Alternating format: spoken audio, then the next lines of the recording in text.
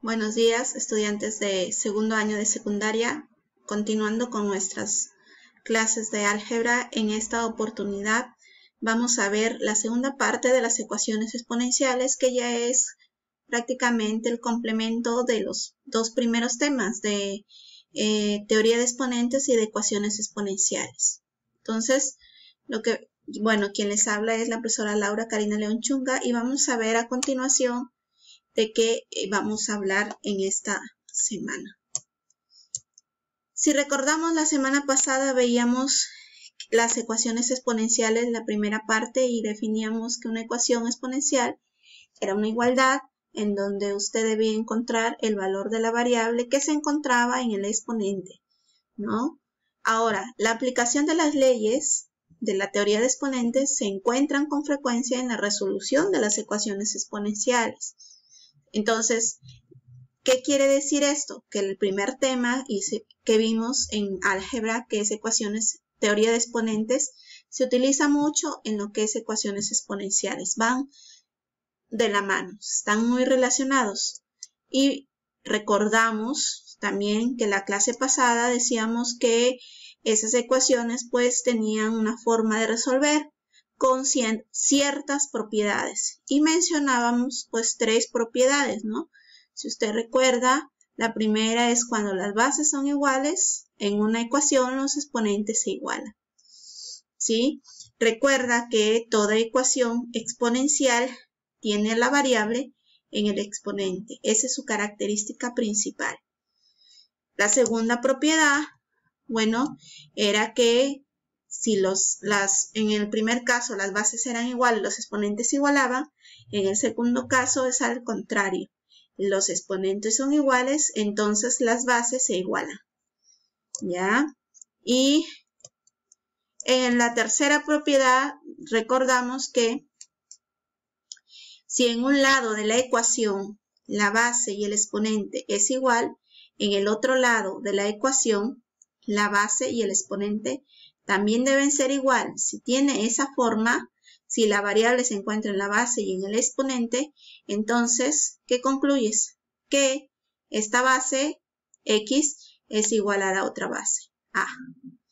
Estas tres propiedades ya las hemos visto y hemos resuelto, bueno, algunos ejercicios a lo largo de la clase, pero algunos preguntarán, ¿será la única forma de resolver las ecuaciones exponenciales, no, hay muchas más formas y estructuras, ¿sí? Es necesario entonces recordar algunas estructuras que caracterizan a cierto tipo de ejercicios, donde también se aplican los criterios de teoría de exponentes y ecuaciones exponenciales, ¿ya?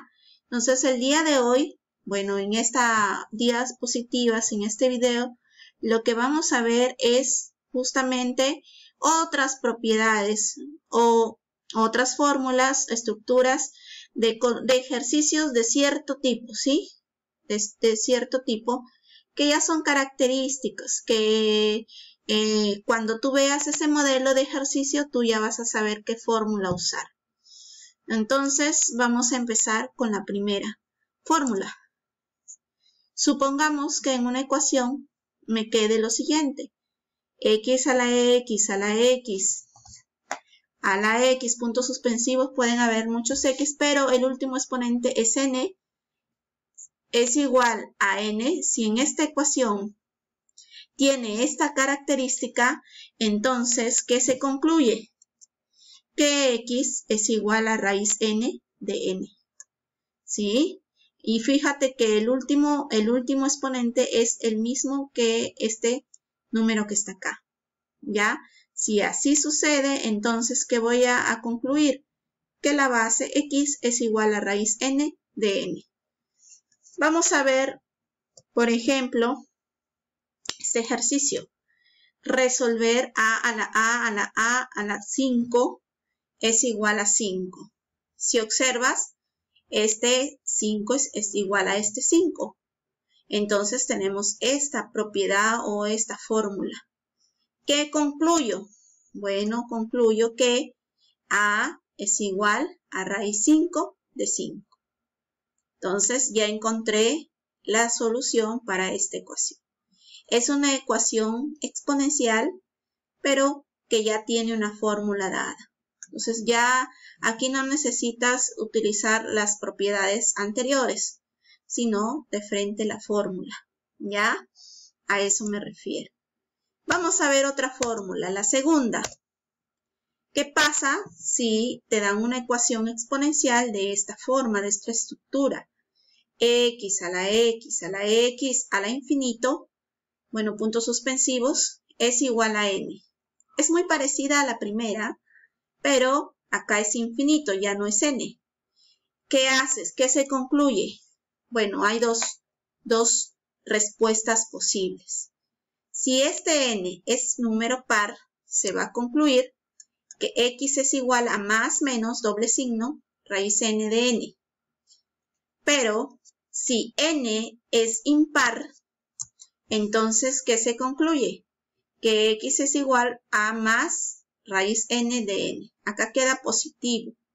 En cambio, cuando n es par, queda con doble signo, positivo y negativo. Pueden ser cualquiera de las dos respuestas. Vamos a ver un ejemplo. Ahí está. Hallar x en esa ecuación. Ah, yo sé que está elevado a la x, a la x y eso es infinito. Y es igual a 3. Entonces, ¿qué se concluye? Según la fórmula anterior, se concluye que x, como es en este caso n es impar, se concluye solamente que x es igual a más raíz cúbica de 3. ¿Sí? Es esta. Esta es la respuesta. Entonces, raíz cúbica de 3, nada más. Entonces, ese sería por qué, porque n es impar. Esa sería mi respuesta porque n es impar. Bien, vamos a ver la tercera fórmula. Es esta. Ahora, ¿qué pasa si en la ecuación, en esta ecuación, en esta igualdad, te están dando que E es igual a raíz n de n, raíz n de n, raíz n de n y eso es infinito. A dice que, la fórmula dice que concluya que E es igual a n nada más. ¿Ya? Cuando tienes esta forma entonces de ecuación, de frente E es igual a n. Vamos a ver un ejemplo. En este ejercicio te dicen hallar el valor de 2p y te dan raíz séptima de 7, raíz séptima de 7, raíz séptima de 7 a la raíz séptima de 7 y así hasta el infinito. ¿Qué significa eso? Que yo voy a concluir lo que me ha dicho la propiedad o la fórmula 3, que E es igual a N, en este caso es P, P es igual a 7. ¿Sí? Nada más, porque son iguales, mira. Entonces P vale 7, pero no te piden hallar P, te piden hallar 2P. Por lo tanto, en ese problemita 2P vale 14. Entonces, ya vamos aprendiendo más propiedades o fórmulas de las ecuaciones y teoría de exponentes, ¿sí? De los dos. Ahora pasamos a lo que es la cuarta propiedad. Todas estas propiedades son muy útiles son sencillas, pero son muy útiles porque hay ejercicios en los que es necesario utilizarlas. Por ejemplo, esta, cuarta propiedad dice lo siguiente.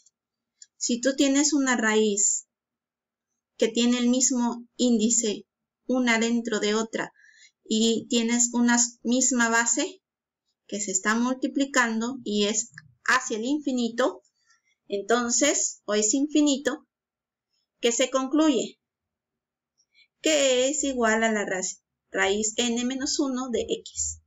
Es decir, cuando tienes una multiplicación aquí de bases, lo que te va a quedar es restarle a este índice 1 nada más y la base se copia igual. ¿Ya? Vamos a ver un ejemplo. Supongamos que en ese ejercicio me piden calcular E. En este caso, entonces, yo sé que es esta propiedad porque se está multiplicando, aquí está, y es infinito. Como es esta fórmula, ¿qué voy a concluir? Bueno, dice que al índice le reste 1, o sea, 4. 4 menos 1 y en la base se copia igual x. Entonces, ¿qué me queda? 4 menos 1, 3, raíz cúbica de x. Esa sería la respuesta. Y hay una quinta propiedad o fórmula que tiene que ver con la división. Mira, este es multiplicación, un multiplicación, multiplicación y así. En cambio, acá es división, ¿sí? Entre, entre, entre. Y así hasta el infinito, puntos suspensivos. En este caso, cuando es división, ya no se le resta uno, sino más bien se le va a sumar uno. Se pone el mismo radicando y se le pone n más 1. Nada más. Vamos a ver un ejemplo. Supongamos que me piden hallar s. En este caso, observa que se están dividiendo. Mira, entre, entre, entre puntos suspensivos y la base es la misma. x al cuadrado, x al cuadrado, x al cuadrado. ¿Qué me queda? En este caso, dice la fórmula que al índice le sume 1. El índice es 3 más 1, 4. Entonces te queda raíz cuarta de la base se copia igual, x al cuadrado, x al cuadrado.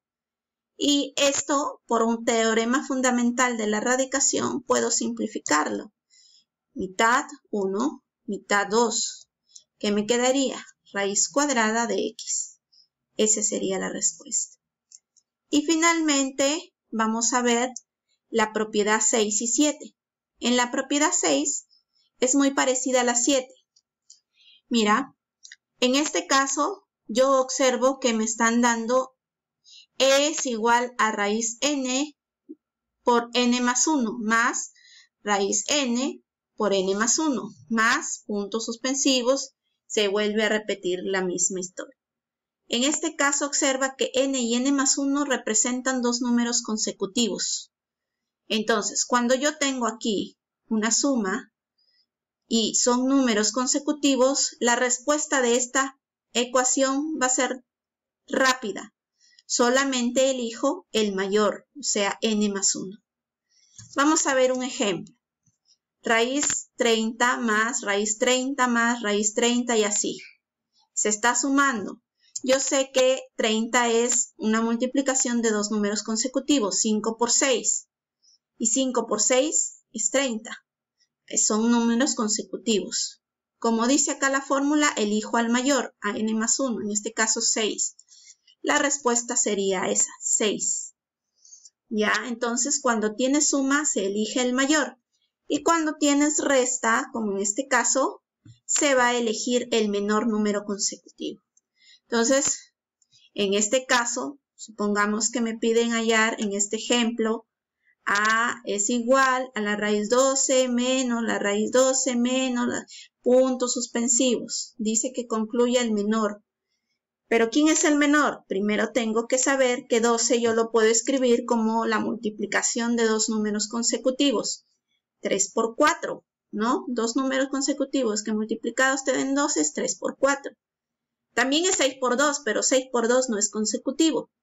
Tienen que ser consecutivos. Entonces, tú dices 3 por 4 es 12. Muy bien, ya son consecutivos. Como es menos, la respuesta va a ser de los dos, va a ser de los dos números va a ser el menor, 3. Y ahí estaría la respuesta. Entonces, estas fórmulas que hemos visto el día de hoy son muy útiles para resolver cierto tipo de ecuaciones que ya tienen esa forma, ¿sí? Que no las vas a poder resolver fácilmente con, bueno, con álgebra se pueden demostrar, pero eso quita mucho tiempo. Por eso es mejor neces y es necesario aprenderse las fórmulas. Y no es nada fácil. Si usted lo practica, lo puede resolver. Entonces, estas dos propiedades son parecidas. Uno es con más, recuerda, y la otra es con menos. Cuando es más, eliges el número mayor de los dos consecutivos y cuando es menos, eliges el menor 3. Y solo esa es la respuesta, no, es, no hay que agregarle más. Esa es la respuesta. Entonces, repito, hasta aquí hemos visto muchas propiedades de la teoría y de las ecuaciones exponenciales que nos van a servir para resolver los ejercicios de nuestro módulo. Espero que hayan entendido y nos vemos hasta otra oportunidad. Gracias.